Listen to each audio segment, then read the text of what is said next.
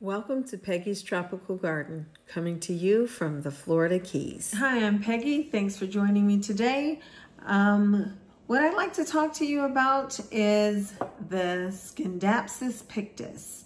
Um, these plants are some of my favorites. They have become very popular along, among the plant community and becoming more available. In case this is a plant that you've been considering picking up or you've just purchased one and you're not sure about the care or you'd like just like to learn a little bit about it, that's what we're going to do today. We're going to talk all about the Scindapsus pictus. Now, First thing is pr the pronunciation. I, for one, have been calling these plants Scindapsus ever since I purchased my first one. And in doing research for this segment, I learned that I've probably been pronouncing the word wrong. I do now indeed believe that it is correctly pronounced Scindapsus. And the reason for that is the Greek term skindapsos means upon the trunk of trees. And also in my research, I learned that these are climbing plants from Southeast Asia, and they do indeed climb upon the trunks of trees. So I believe that it is Scindapsus as opposed to Syndapsis. However, if you're like me, I learned the, um, the names of my plants just so that I can do care research. Other than that, I'm not real hung up on what the names are. So if you're pronouncing it Scindapsus, we won't sue you, okay? so what we'll first talk about is just give you a little insight on the plant. Now these plants typically have a somewhat matte green leaf as you see here, with a silvery gray variegation. All varieties of the, uh, all varieties of this plant have that in common. Now, one thing with these plants that have caused great confusion is being able to distinguish the difference between a Scindapsus argyraeus, exotica, and silvery Ann. We'll start with the silvery Ann. As you can see here, this plant has matte green leaves with a degree of silver gray variegation. Some of the leaves are more than half covered with that silvery gray and others are more green. And also I wanna mention the leaf size. You see the size of the leaves. They're in line with, I would, say, I would call that a small to medium sized leaf. Now, this Scindapsus exotica, on the other hand, has, let me turn this around for you, some rather large leaves, as you can see. And they have the matte green and the silver. However, you will notice that they all have down the center is a green trail right down the center. And that's on all the leaves. Now you will see that some of these leaves are primarily gray, but none of them are primarily green. And they all have the green down the center. So when I show you the Silvery Ann and the Exotica, the difference is very apparent. The leaves of the silver Ann are much smaller. The, there is no green down the center. There you go. Now, you've got those two straight, no problem, right? Well, of course there is. The Argyraeus. now this one, again, has the matte green leaf with the um, has matte green leaves with the grayish silver variegation, but if you notice, these leaves are all primarily green. And then they have the gray silver in a spattered pattern. And like the Exotica, they have the green down the center. So I'm going to give you a look at the Argyraeus next to the Exotica. Now the leaves on the Argyraeus are um, about the same size as those of the Silvery Ann. making them much smaller than the leaves on the Exotica. And they both do have that green down the center. But the Argyraeus definitely has a more patterned um, silver gray variegation in that it's just speckles, whereas the other two have much higher degrees of variegation. Okay, so now you should be able to tell the three of those apart fairly easily. Once you learn what the difference is, it's easy to tell the difference. They're not as similar as they seem um, before you learn how to, you know, distinguish them. Some of the care. Um, in terms of temperature, these plants prefer temperatures between 65 and 85 degrees Fahrenheit.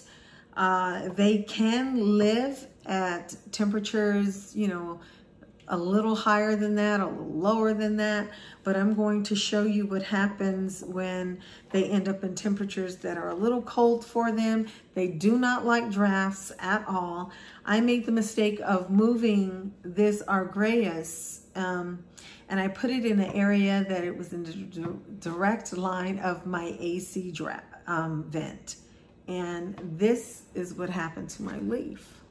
You see that, how it gets that dark spot? Had I not moved that, I would have ended up with dark spots on several more of my leaves. I have had a plant, uh, Scindapsus, that ended up with lots of leaves like that, but um, it gives you some indication. Most plants will let you know what they need and what the problem is. You just have to learn the habits of that plant. And this plant, like I said, will definitely let you know if it doesn't appreciate the temperature um, like I said, 65 to 85 degrees uh, Fahrenheit is what it prefers in, in um, conditions that it will thrive. In terms of light, it likes it likes bright light, indirect bright light. If you put this in direct sun, you'll burn the leaves. The leaves are tend to be very thick, but they do burn easily if you put them in the indirect sunlight. So this is not something that you would want if you're in the Northern Hemisphere. You would not want this in a south, uh, south facing window at all. They do like the bright light. If you do not give your plant enough light, your leaves will turn primarily green your variegation, your gray silver spots or gray silver pattern on your leaves will begin to fade. It will disappear if your plant is not getting enough light. So if you have a scindapsus and the leaves are primarily green, you need to give your plant more light. In terms of watering, now this is a tricky situation all the way around. I don't like to tell anyone how frequently to water a plant because without knowing your soil mix, there's really no way anyone can tell you how frequently you should water a plant. I can tell you the conditions that the plant likes, but even that is, you know, it can vary. If, of course, if you have a very fast draining soil, you're going to have to water more than someone who has a soil that retains more moisture. In my research, I read that these plants prefer to be consistently moist, to remain, the soil, they like for their soil to remain consistently moist during a great, during the growing season. I'm sorry, I'm having, I'm getting so tongue-tied today, but it said that they um, enjoy consistently moist soil during their growing season. Now that has not been what I have found, or at least what I do. I do let mine tend to grow out pretty, um, dry out pretty much. I water my plant when my moisture meter is between two and three in the dry area. I am scared to let these remain moist because they don't like wet feet and it is easy for the roots to rot. And for this, those reasons, I do tend to let mine dry out a little bit before I water them. But like I said, the research that I did find um, in more than one place was saying that they like to be consistently moist during their growth season. So you will probably have to play with yours, with your watering to find out exactly what, you know, given your climate and everything, your plant likes.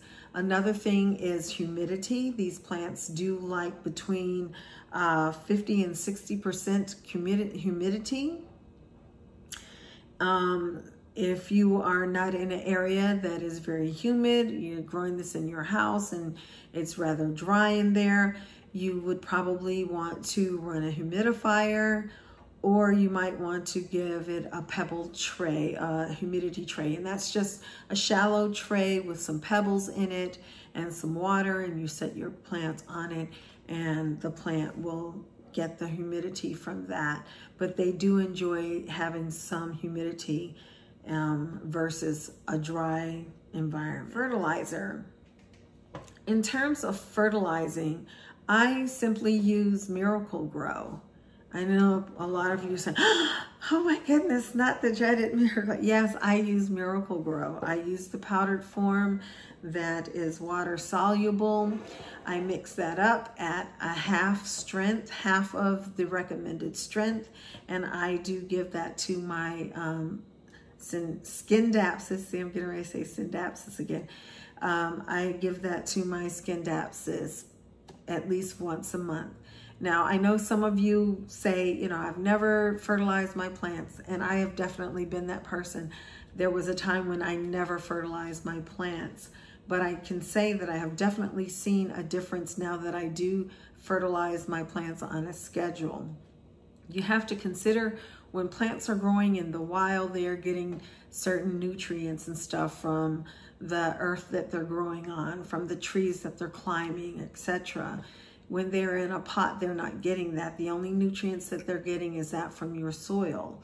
And from watering your plants nutrients, excuse me, the soil's nutrients, there's a fungus gnat flying around here and it's driving me nuts.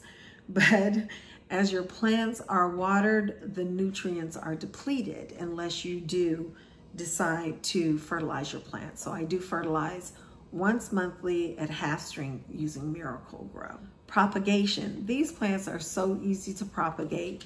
They are right there. You do them exactly like you would a pothos. But in case you're not familiar with either plant in terms of propagation, you simply want to take a cutting that's about four inches in length um, you will want to have a node on that cutting. I would trim the leaf away from the node. You can um, stick it in some water or into some damp sphagnum moss. And these plants root rather quickly. You would probably be seeing roots within three or four weeks. So just that easy um, to propagate. So I hope that you have found this video helpful in some manner. And if you do not yet own a Skindapsus, what are you waiting for? They're wonderful plants, easy to grow. I wouldn't hesitate to recommend this plant to a plant growing novice at all. They're, they're just easygoing plants. So if you have any further questions, I will be more than help, happy to try my best to answer them. Otherwise, go ahead and put them down in the comments below. I'm sure that some other viewer, if I'm not able to answer, that they will have the answer for you. It's all about working together to keep things growing. So thank you so much for watching. It's been a pleasure having you with me. I do appreciate you. Take care and bye-bye.